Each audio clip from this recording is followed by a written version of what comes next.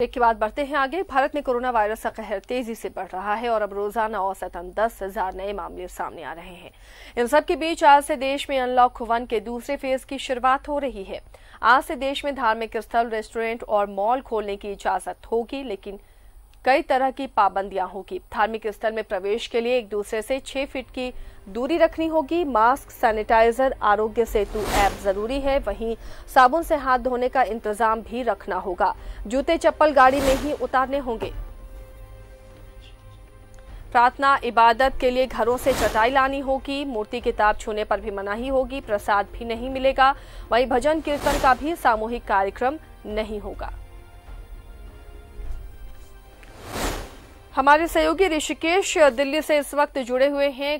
कालका जी मंदिर में वो मौजूद है। इस वक्त ऋषिकेश, क्या जो तमाम गाइडलाइन थी अनलॉक फ़ेज़ टू की, वो गाइडलाइन के मुताबिक धार्मिक स्थल खुल रहे हैं। क्या तस्वीरें वहाँ पर हैं? दिखाइए हमारे दर्शकों को।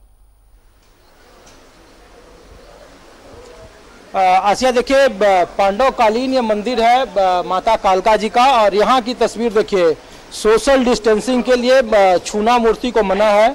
बाहर से ही आप दर्शन कर रहे हैं। लोग जो दूर से आ रहे हैं और यहाँ पे दर्शन लोग कर रहे हैं। सोशल डिस्टेंसिंग है सामूहिक तौर पे इबादत उपासना नहीं कर सकते हैं। और देखिए कि इस तरीके का सोशल डिस्टेंसिंग के लिए जगह जगह चिपकाए गए हैं। हमारे साथ मुख्य पुजारी हैं। क्या क्या आप लोग आज तैयारी कर रहे हैं? क्या आज माता का पहला दिन खुला है? आज सुबह पहले ही हाँ। सुबह साढ़े तीन बजे मंदिर खुल गया। मंदिर खुलने के बाद आरती हुई पाँच बजे। पाँच बजे के बाद भवन में पब्लिक का आना शुरू हो गया है। डिस्टेंसिंग के साथ उनके दर्शन कराए जा रहे हैं। ठीक है? सैनिटाइजर मशीन लगाई हुई है। टेम्परेचर चेक करने के लिए लड़के लगाए हुए हैं। सेवादार लगे हुए हैं। पब्लिक आराम से दर्शन करके जा रही है। बरसात फूल प्रसाद चलना बंद है। तो देखिए आसिया ये दूरी है यहाँ से। यहीं से आप माता के दर्शन कर सकते हैं। कपाट खुला है। काफ़ी दिनों के बाद। और देखिए कि भक्तों की तादाद भी है इधर। जो लोग हैं वो दर्शन करने काफ़ी दिन के बाद हम तीन महीने के बाद आए। हाँ जी।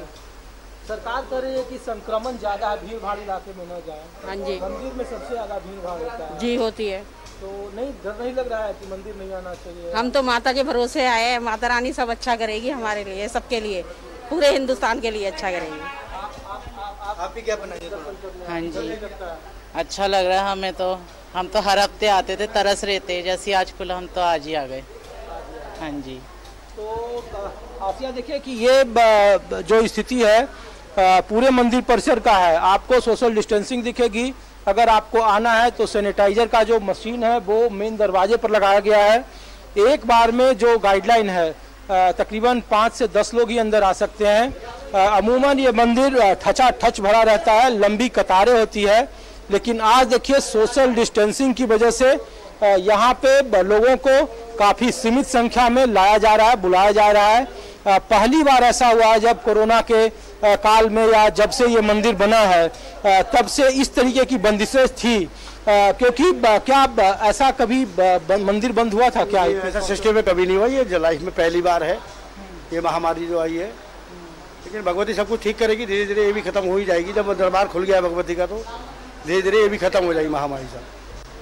तो देखिए कि ऐसा कभी नहीं हुआ था। पांडवों के समय से ही चूँकि दिल्ली है, वो हस्तिनापुर का एक अंग हुआ करता था, इंद्रप्रस्थ इसका नाम था।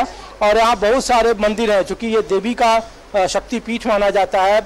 काली माता की यहाँ पूजा होती है और लंबी कतारें होती है। लेकिन ऐसा पहली बार हुआ है जब तीन महीने के बाद मंदिर का कपाट खुला है और जो भक्त हैं वो काफ़ी सीमित संख्या में आ रहे हैं। प्रसाद का वितरण नहीं है आप एक जगह बैठकर अनुष्ठान नहीं कर सकते हैं। आ, कुल मिलाकर एक राहत की बात है धार्मिक प्रतिष्ठानों के लिए जब आज उनका पहला दिन है और मंदिर का परिसर भक्तों के लिए खुल गया है। असिया ऋषिकेश और भी कई चीज़ों में आज छूट मिली है। रेस्टोरेंट और मॉल को भी छूट दी गई है अनलॉक टू में। वहाँ पर किस तरह की सोशल डिस्टेंसिंग नज़र आ रही है? आसिया, देखिए मॉल और चूँकि दिल्ली के जो आंकड़े देश की राजधानी के और एनसीआर के आंकड़े हैं, आज पहला दिन है जब मंदिर के प्रतिष्ठान भी खुले हैं और जो सीमाएँ हैं, वो भी खुली है, जो सील थी सीमाएँ तो मॉल में भी खास करके उस तरीके के तादाद नहीं देखने को मिल रहे हैं जितनी तादाद होती थी। लेकिन मंदिर परिसर या मॉल या सिनेमा हॉल में अभी फ़िलहाल सैनिटाइजिंग का काम चल रहा है। बहुत सारी जगहों पे मशीनें लगाई जा रही है, जो बड़े बड़े मॉल हैं, चाहे वो कनॉट प्लेस हो या फिर वसंत कुंज हो या फिर दिल्ली का झारखंड भवन हो वो भी आज से खुल गया है। उसकी भी तस्वीर हम लोग दिखाएँगे दर्शकों को।